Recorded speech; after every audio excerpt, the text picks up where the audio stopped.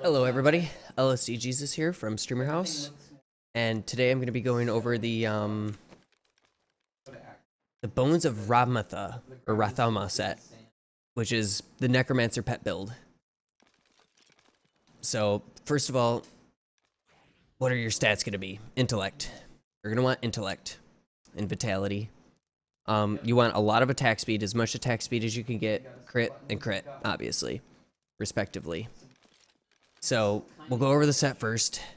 Ramatha's is the pet set.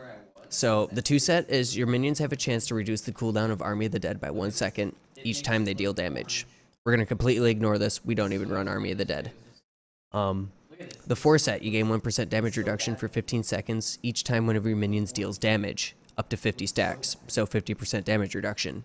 Alright, cool. You know, some toughness. Now, the sixth set is where your damage is coming from. Each active skeletal mage increases the damage of your minions and Army of the Dead by 250%. You can have up to 10 skeletal mages out at a time.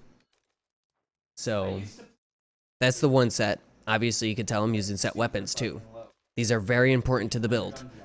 It's the uh, the Jethus set, which is when you target, when the target of your command skeletons dies, your skeleton's automatically commanded to attack a nearby target. So as long as there's mobs on the screen, you don't have to recast command skeleton, they'll just constantly keep attacking new targets. And the bonus from this is, while your skeletons are commanded to attack a target, all of your minions deal 400% increased damage. So it stacks on top of all of your skeletal mages, which is where all of your damage is coming from. So, we'll go over the skills real quick, and then we'll go over the gear. So for your primary, you're gonna want bone spikes with Path of Bones. And um, pretty much this is your generator. This is what's generating your essence, which you use to cast your skeletal mages. Um, I went with Path of Bones because it hits multiple targets or as many targets as possible to generate as much essence as humanly possible. Skeletal Mage. This is where all of your damage is coming from. This is all of your damage. And you want Singularity with the build I'm running, which consumes all of your essence, but it summons a more powerful mage. Up to 3% for every point of essence consumed. So whenever I cast it, my mage is doing a bunch of extra damage. Big mage. Um, we're running Decrepify with um, Dizzying Curse. It's, uh, it's a stun has a chance to stun, but it also makes the enemies deal less damage. So it's survivability, um, blood rush, potency for the armor, and mobility. You know, th this is your teleport, get you out of trouble. Um, command skeletons, frenzy. Um, I haven't quite decided what I want to run. This is still a work in progress, but at the moment I'm running frenzy, and it command your skeletons to attack a, a target, and they go 25% uh, attack speed while they're doing this. And then Devour, Satiated. So Devour is you eat corpses, and it restores essence. And with the rune Satiated, it increases your maximum life. So more survivability. For passives, I'm running Overwhelming Essence, which increases your X essence. Stacks with uh, Singularity. Extended Servitude makes it so your skeletons last longer. Life from Death, consuming a corpse has a 20% chance to spawn a health globe. And Swift Harvesting makes it so um, your primary attacks attack quicker, therefore generating essence quicker, which means more singularity, which means more mages, which means more damage. So we'll go over the gear now. Um, we're going to be running the Ramatha six pieces. All six pieces. We're not using Royal Ring. Okay, we're going to be running a Compass Rose and a Traveler's Pledge. Um, for rings, you're going to want either Unity, the Circle of Niljuis, or however you want to pronounce that, or the um, Krysbins is what I've been testing. I haven't haven't 100% decided what I want to run yet. So that's your jewelry. Your belt, this is very important. Dayntee's Binding you gain an additional 49 to 50%, well, 40 to 50% damage reduction whenever there's an enemy afflicted by your Decrepify, your curse. So not only will they be dealing less damage, but you're also taking less damage because of this. So This is your toughness. You use this to stay alive. Um, for bracers, I'm running Lacunis at the moment, but I was thinking about switching over to Reaper's Wraps to, you know, stack well with this Life from Death for the health globes. Um, I honestly think the Reaper Wraps are going to start shining above the Lacunis. I'm just running them right now for the attack speed.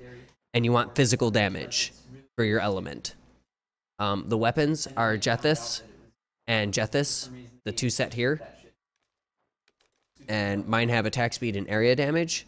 I'm not sure if I want to roll that area damage to base damage or not. I haven't decided. Um, your gloves preferably would be int, attack speed, crit, crit. Your shoulders, you're going to want int, vit, armor, and you don't need the cooldown. Um, obviously, these are not what you're going to want. Um, let me go take a look real quick. I know you could get armor. Um, percent life wouldn't be bad. And you could also possibly... You don't really need command skeleton damage. You're, you're not getting much damage from that, so probably area damage. Depending on what your build determines for. Um, the helmet, you're going to want it, crit, and if you can sacrifice, you should be able to get um, skeletal mage damage on your helmet. Your chest piece, you want int vit armor, um, I was just messing around with command skeleton damage. Your belt, int vit, all res armor. Your pants, int vit armor. Your boots, int vit armor, skeletal mage damage would be preferable. Um, I haven't even re-rolled these, I just got these. So. And then your bracers, you want physical skill, int vit, crit chance. Now, the Lacunis always roll with the uh, the bonus attack speed, so there's that. In your cube,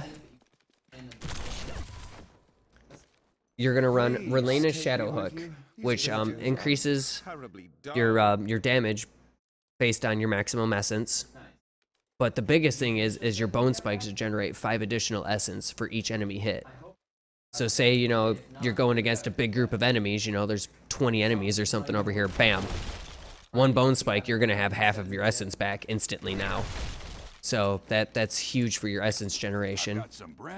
Um, Tasker and Theos for your pet's attack speed.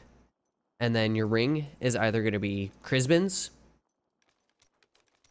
or the Circle of Najuli's or Unity. Um, for solo, I'd be running Unity. For groups, I was running the um, the I'm still learning the names of all these rings. Krysbins. This is what I was running for groups. And that's what I'm running in my cube. So basically, when you're attacking mobs, this is how you're going to play the build.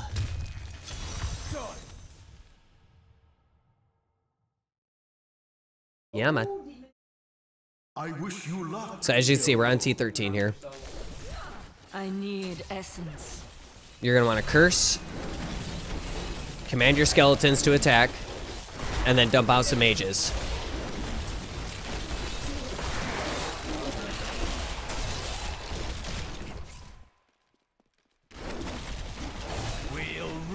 Command your skeletons.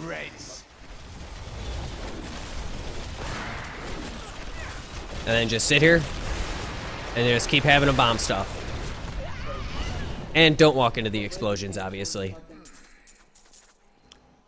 So as you can see, when I cast my skeleton, I'm actually getting two. The biggest thing in this build is making sure that you have a circle of Nil um, Niluj, or however you want to pronounce this.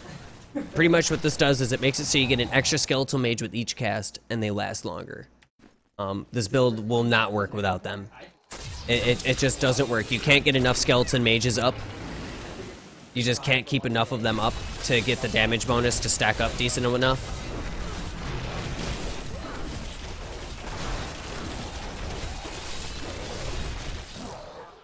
Because for each skeletal mage you have up, you gotta remember, you're buffing the damage of all your other pets, which is your other mages.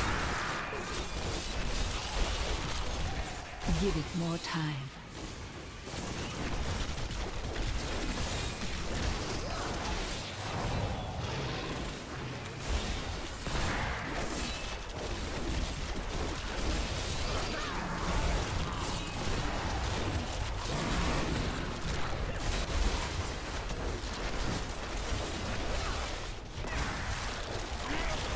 But yep, I mean, this is generally how the build's gonna play out.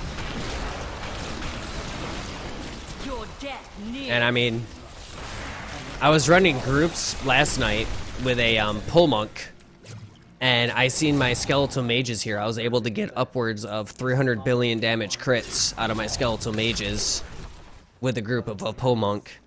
Um, he was definitely buffing my damage.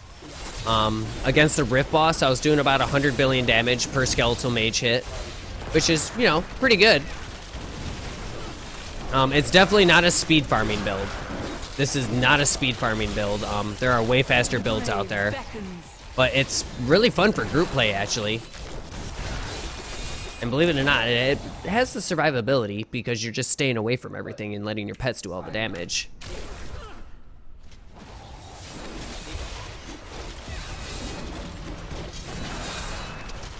But yeah, as you can see, I'm, I'm building up my essence pretty pretty freaking quick here. Just because of all the enemies that you can hit. Um, I haven't been getting good riffs here to show you guys what's up with this. The densities are kind of bleh. But like, as you can see right now, I haven't commanded my skeletals to do anything. And look at how nothing's dying. You know, I got six mages out right now that should be doing a crap ton of damage. But nothing's dying because I have not commanded my skeletons to attack. As soon as I tap that button, now look at all the damage going out there. Oh, my mages fell off. Yeah, so you have to make sure your skeletal mages are attacking. Um, you can tell this if they're active, they'll have a gold ring around the skill. So, you see how there's, it's just plain? As soon as they're attacking, now it's highlighted. That's how you know your skeletal mages are attacking, and that your pets will be buffed for extra damage. So there, there's a lot of setup involved in actually getting the damage out on this build. You need to have full essence. Your mages need to be attacking, command your skeletons, and then you pull out your pets. That's when you start spamming your um your skeletal mages. Now you could run instead of singularity. Um, honestly, skeleton archer's cold has worked great for me, and contamination have worked great for me. Um, even for physical, you can run gift of life.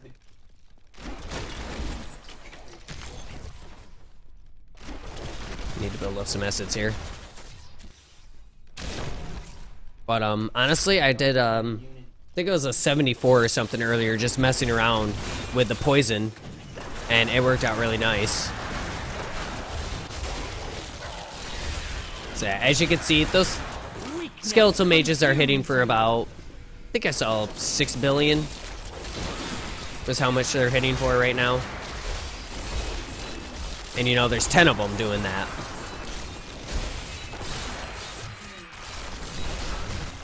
And the nice thing about the gift of the gift of death is they leave a corpse behind so you can eat that corpse afterwards to help keep your toughness up.